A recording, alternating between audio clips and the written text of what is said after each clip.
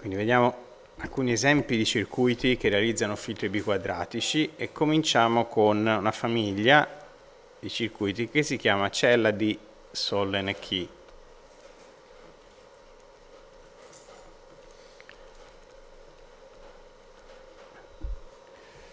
Vediamo prima, dunque, eh, questa della cella di Sollen Key è una famiglia di filtri, in realtà sono quindi diciamo, con piccole modifiche si ottengono sia passa alto, sia passa basso, sia passa banda. Vediamo intanto il passa basso. Copro l'immagine, mi, vedo la cosa in faccia. Aspetta, se no mi sposto io un po' più in qua.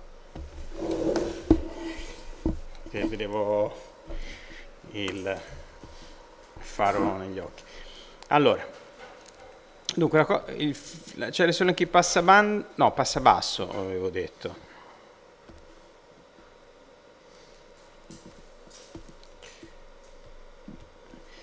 Fatta così. Ci sono due resistenze in serie qua. Questa è una capacità. Qui c'è un amplificatore non invertente e poi qui c'è un ritorno così.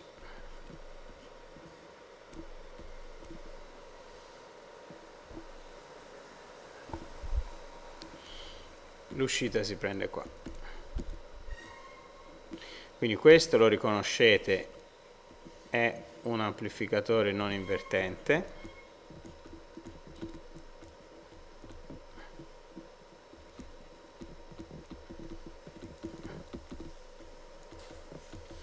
questo amplifica A che è uguale a 1 più R2 su R1 dove R1 e R2 sono queste due resistenze d'accordo? Per il momento non sappiamo amplifica A è positivo ovviamente e poi eh, come abbiamo già visto questo amplificatore non invertente avrà un polo che sarà il prodotto guadagno banda dell'operazionale diviso in amplificazione ok? Con posizione. In realtà diciamo, per il momento noi trascuriamo il polo dell'operazionale. Immaginiamo cioè che il polo dell'operazionale intervenga così in alto da come dire, non interessarci alle, alle, frequenze a cui guardiamo il funzionamento del filtro. Quindi lo scrivo qui tra parentesi, trascuriamo il polo dell'ampli non invertente. Bene, poi che cosa possiamo aggiungere?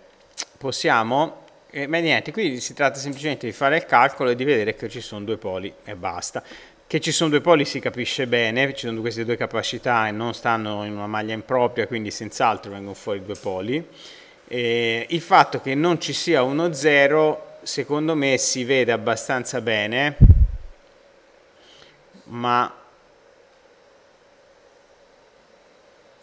um, si vede abbastanza bene ma non, non è proprio immediato, ecco, non benissimo. Com'è che si fa vedere che non ci sono zeri? Innanzitutto non ci sono zeri nell'origine, questo si vede anche senza fare i conti, perché per frequenze nulle le capacità sono eh, eliminabili dal circuito, quindi non è necessario che ci siano. E c'è semplicemente un amplificatore non invertente di questo tipo. E poi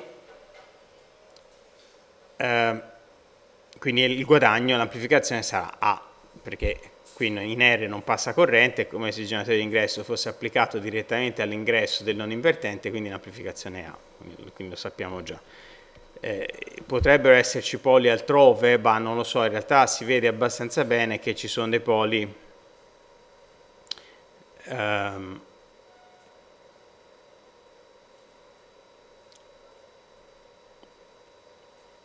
degli zeri come si dice all'infinito, cioè vuol dire non ci sono zeri. Uno si, questo dovuto a C si vede benissimo che quando C a frequenza infinita, quando C tende a un cortocircuito, in pratica io ho azzerato questa, questa componente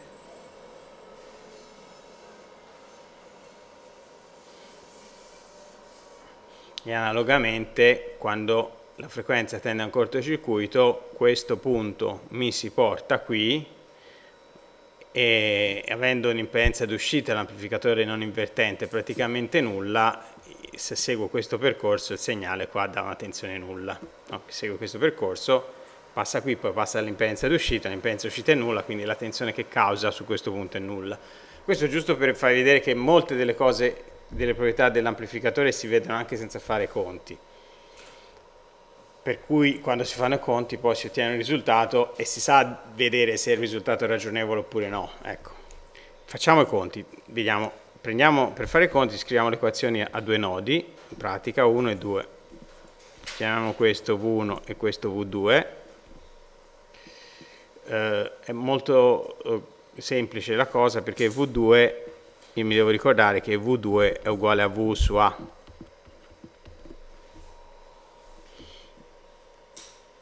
d'accordo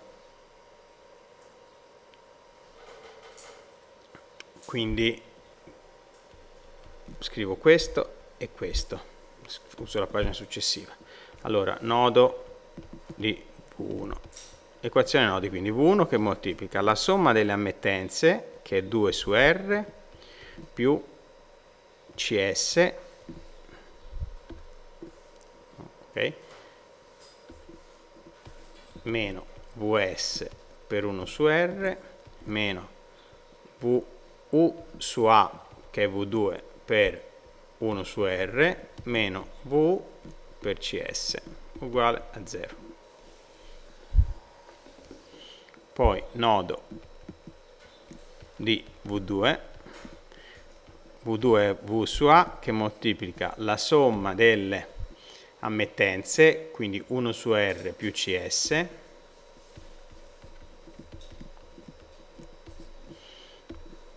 meno V1 su R uguale a 0.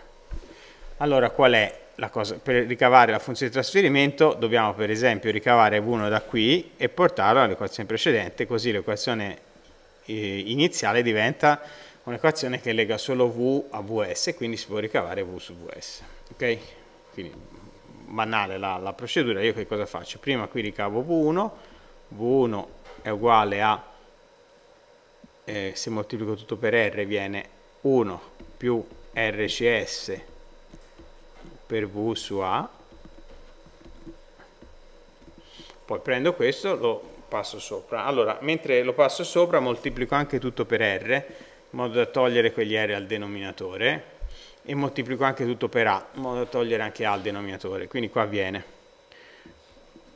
1 più RCS che moltiplica 2 più RCS per V. Questo è il primo termine. Meno AVS meno V meno VARCS uguale a 0. Quindi V che moltiplica, mettiamo tutti i termini di ordine 2, quindi questo per questo c'è RCS al quadrato, termine secondo grado, è l'unico, più termine primo grado 2RCS, più questo per questo fa RCS, meno ARCS, più 2 meno 1 uguale ad AVS. Quindi questo punto posso calcolare la funzione di trasferimento h di s uguale a v su vs è uguale a. Numeratore c'è soltanto a al denominatore c'è rcs al quadrato più 3 meno a per rcs più 1 ok quindi due poli nessuno 0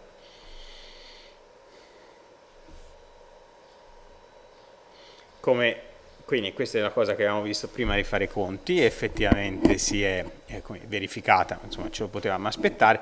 L'altra cosa che è abbastanza eh, evidente qui è che ehm, quando S è uguale a 0, vedete, la funzione di trasferimento fa A ed è una cosa che avevamo detto anche prima. In pratica c'è soltanto l'amplificatore non invertente.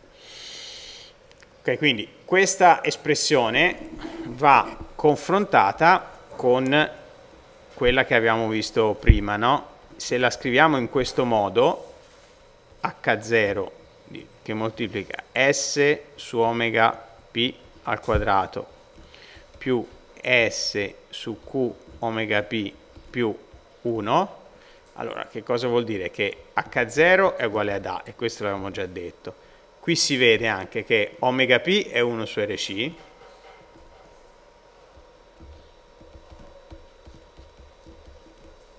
questo è il limite superiore di banda a meno 3 dB del filtro.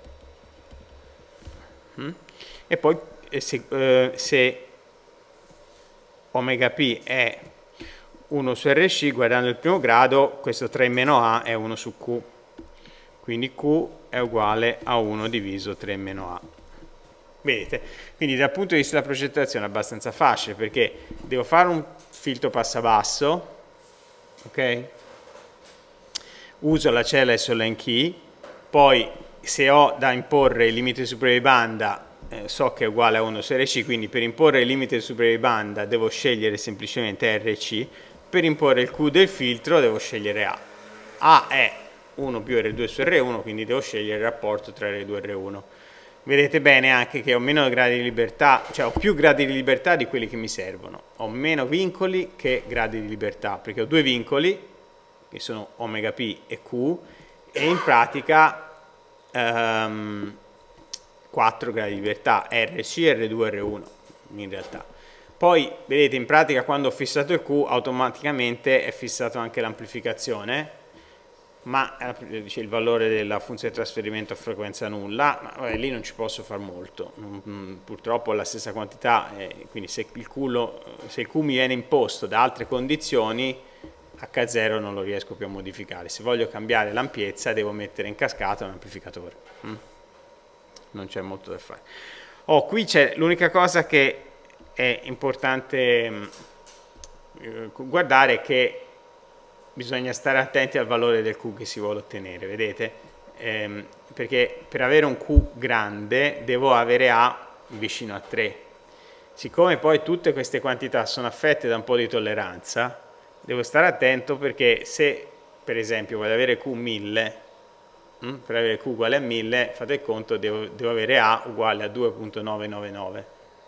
Questo vuol dire che se poi per delle tolleranze sui valori di resistenza viene Q uguale a 301, Q mi viene negativo, che vuol dire i poli sono a parte reale positiva, cioè il sistema è instabile.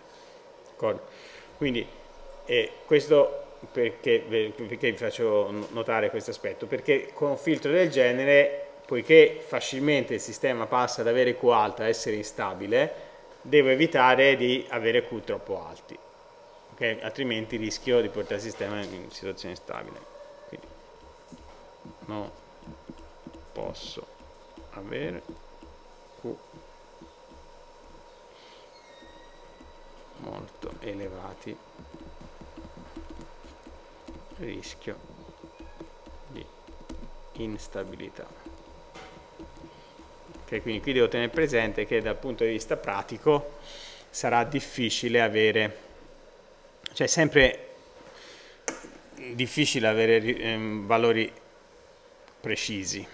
Quindi devo fare conti con il fatto che ho delle tolleranze, non devo mettermi in situazioni che sono troppo, eh, come dire, dipendenti dalla precisione con cui ho i valori, perché avere cose precise vuol dire tipicamente avere costi molto alti, no? più, più, o meno in certi casi è necessario avere i valori super precisi, in quei casi lì bisogna tarare uno a uno i componenti, e con, quindi tararli singolarmente, quindi con costi elevati, in produzione non si riesce a fare.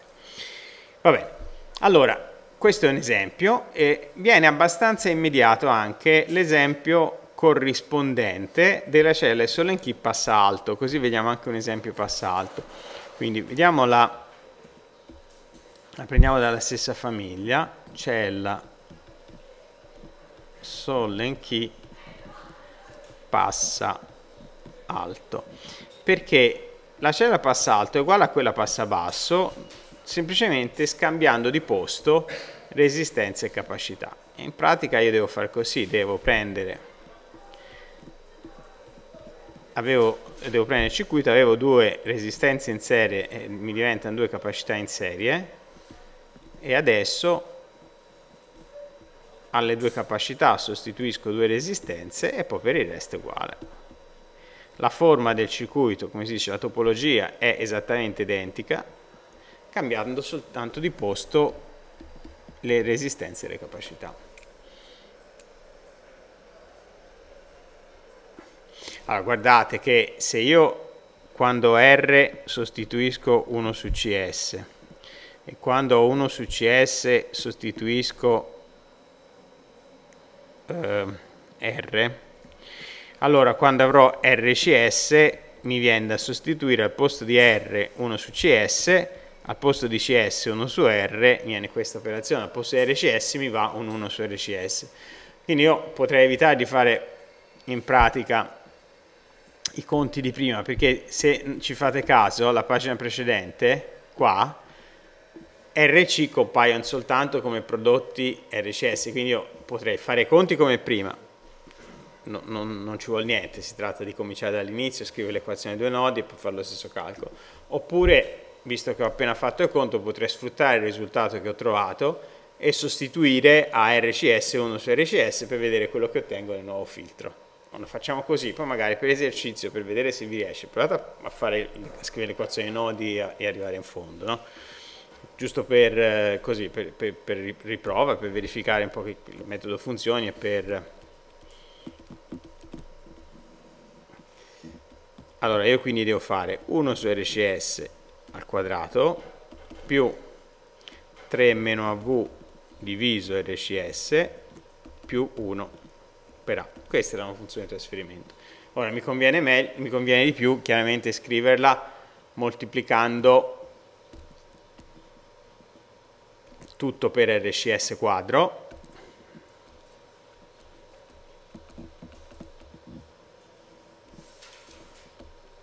Quindi se moltiplico tutto per RCS quadro che cosa mi viene? mi viene in pratica 1 e questo 1 diventa un RCS quadro. Più 3 meno AV per RCS più 1 e al numeratore mi compare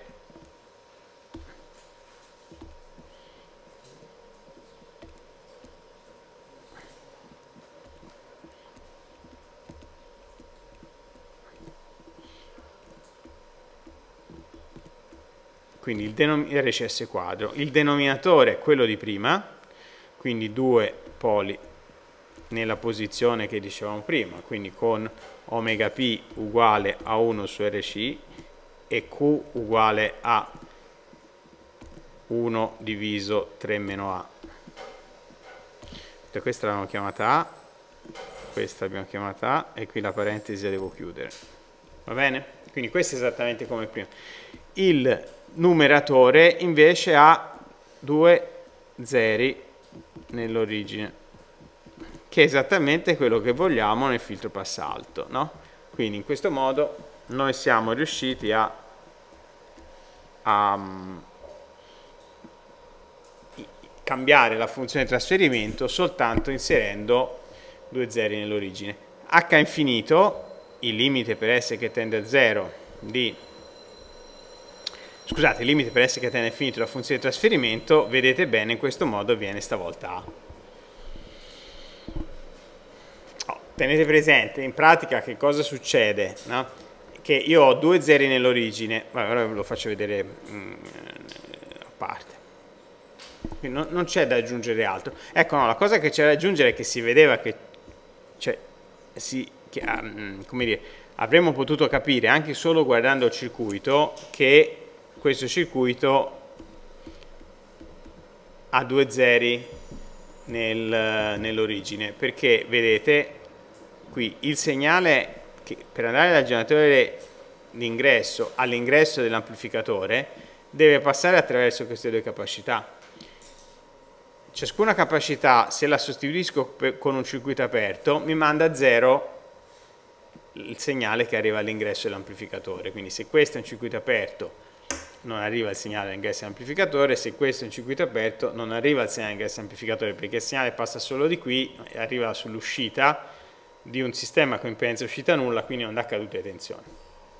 Quindi vi avevo già detto questa cosa, no? per capire se ci sono zeri nell'origine basta vedere se quella singola capacità quando va a essere sostituita da un circuito aperto, che vuol dire quando la frequenza va a zero, dà luogo a, una, a uno zero nell'uscita. Ciascuna di queste due dà luogo a uno zero nell'uscita, quindi io qui ho due zeri nell'origine. Oh, io giusto ne approfitto per eh, farvi così meditare su questo aspetto. Noi abbiamo detto trascuriamo il polo del, dell'operazionale. Se io rappresento il diagramma di Bode, di Bode hm? quindi h in dB in funzione di f su scala logaritmica, io ho 40 dB per decade qua,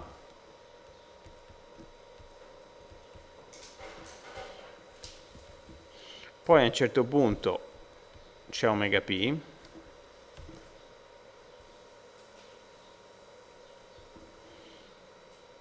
e ho i due poli, per cui qui ho 0 dB per decade.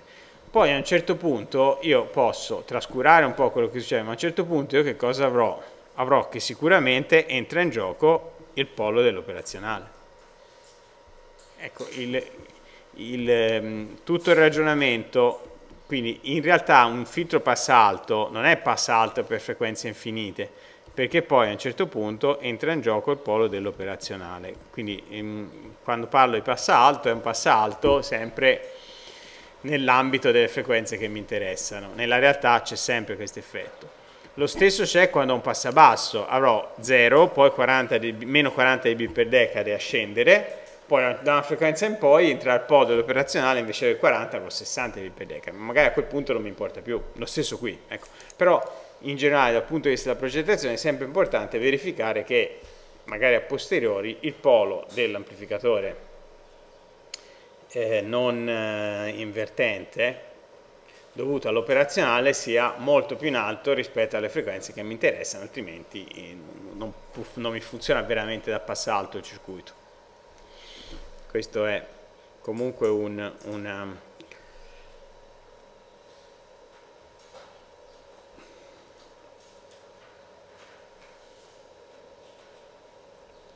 considerazione da tenere presente.